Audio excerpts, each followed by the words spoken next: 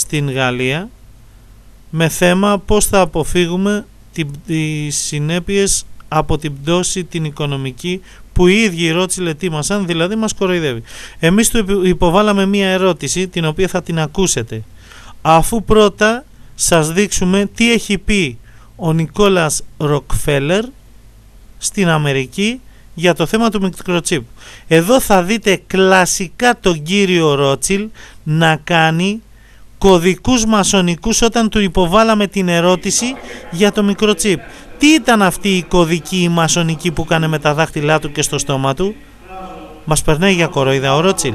Γιατί γέλασαν όλοι όταν το είπε; Μήπως προετοίμαζε τους Ιουδαίους ταλμουδιστές γιατί τον κάλεσε το Κεντρικό Ισραηλιτικό Συμβούλιο και τους μασόνους τραπεζίτες Έλληνες και υπαλλήλους τσιράκια του να γελάσουν κοροϊδευτικά για να κάνουν μία άλλη μία παραπλάνηση στους μερικούς από το κοινό παρακολουθούντας θεατάς ότι υπάρχει κίνδυνος με το μικροτσίπ έδωσε σήμα με τα δάχτυλά του να γελιοποιήσουν την ερώτηση.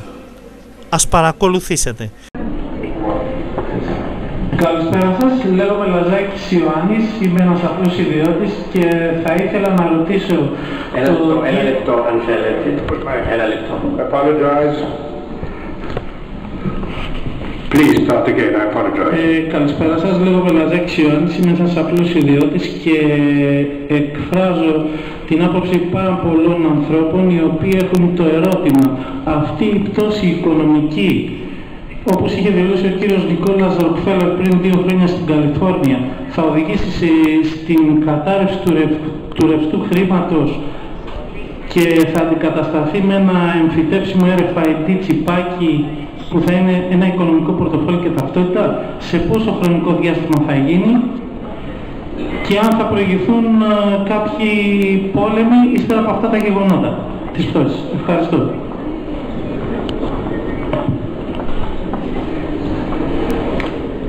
I think we should all meditate on your question. Νομίζω ότι πρέπει and leave it there. Many, many να, να στοχαστούμε όλοι πάνω στο ερώτημά σας. Να πω όμως ένα, να κάνω ένα σχόλιο. Το chip πάει πολύ μακριά, δεν γνωρίζω, δεν ανήκω σε αυτή την ε, γενιά της ε, σύνθετης τεχνολογίας.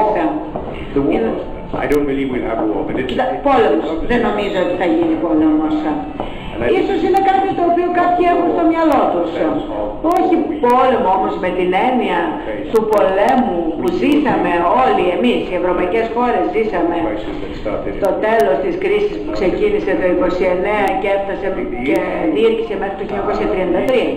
Νομίζω ότι το ζήτημα σχετικά με τον πόλεμο είναι διαφορετικό και είναι και πολύ σοβαρό. Θα είμαστε σε θέση τους προσεχείς 18 μήνες με 2 χρόνια να περιορίσουμε στο βαθμό που μπορούμε την κοινωνική αναταρρυχή. Διότι η σύγχρονη εκδοχή ε, του πολέμου είναι αυτό σε έναν ειρηνικό, ε, σε μια ειρηνική οικουμένη. Είναι η κοινωνική αναταραχή. Ίσως είναι ανόητο να σχολιάσει κανείς, αλλά είναι πολύ σημαντικό να μην υπάρξει ένα διαζύγιο ψυχολογικό ή πνευματικό μεταξύ των στοιχείων της δημοκρατίας και εντός των στοιχείων της δημοκρατίας των στοιχείων της επιχειρηματικής κοινότητας. Διότι τελικά ο μόνος τρόπος να βγούμε από το πρόβλημα είναι πολιτικός κόσμος και οικονομικός κόσμος. Με τις ατζέντες τους ο καθένας να συνεργαστούν και να λειτουργήσουν ως ένας. Dividing, you know, the goods and the bad. Δηλαδή, ξεκινώντας, δεν πρέπει κανείς να ξεχωρίσει τα καλά από τα κακά. Δηλαδή, με αυτόν τον τρόπο ενδύνει τα πράγματα και ε, προκαλεί αυτήν την κοινωνική αναταραχή. Κυρίες και κύριοι, σας ευχαριστώ πάρα πολύ που με ακούσατε. Εν ώψη της ε, ολοκλήρωσης της παγκοσμιοποίησεως, στις, ε, τη Δευτέρα 16 Μαρτίου με το νέο ημερολόγιο έκανε μία διάλεξη στο Μέγαρο Μουσικής ο Δαβίδ Ροτσίλ, ο διευθυντής των τραπεζών Ρότσιλ στην Γαλλία με θέμα πώς θα αποφύγουμε τις συνέπειες από την πτώση την οικονομική που οι ίδιοι οι Ρότσιλ ετοίμασαν, δηλαδή μας κοροϊδεύει. Εμείς του υποβάλαμε μία ερώτηση την οποία θα την ακούσετε. Αφού πρώτα σας δείξουμε τι έχει πει ο Νικόλας Ροκφέλερ στην Αμερική για το θέμα του μικροτσίπ. Εδώ θα δείτε κλασικά τον κύριο Ρότσιλ να κάνει κωδικούς μασονικούς όταν του υποβάλαμε την ερώτηση για το μικροτσίπ. Τι ήταν αυτή η κωδική η μασονική που έκανε με τα δάχτυλά του και στο στόμα του; Μας περνάει για κοροϊδά ο Ρότσιλ. Γιατί γέλασαν όλοι όταν το είπε; Μήπως προετοίμαζε τους Ιουδαίους ταλμουδιστές γιατί τον κάλεσε το Κεντρικό Ισραηλιτικό Συμβούλιο και τους μασόνους τραπεζίτες Έλληνες και υπαλλήλους τσιράκια του να γελάσουν κοροϊδευτικά για να κάνουν μία άλλη μία παραπλάνηση στους μερικούς από το κοινό παρακολουθούντας θεατάς ότι υπάρχει κίνδυνος με το μικροτσίπ. Έδωσε σήμα με τα δάχτυλά του να γελιοποιήσουν την ερώτηση ας παρακολουθήσετε.